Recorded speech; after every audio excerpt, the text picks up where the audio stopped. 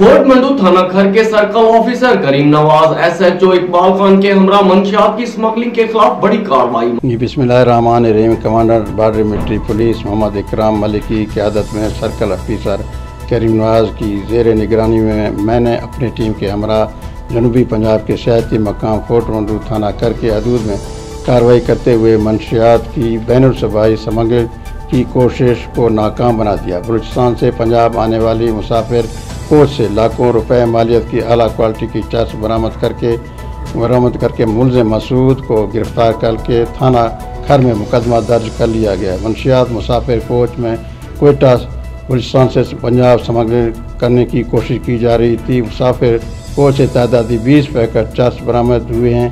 मुलजिम से मजीद तफ्तीश जारी है।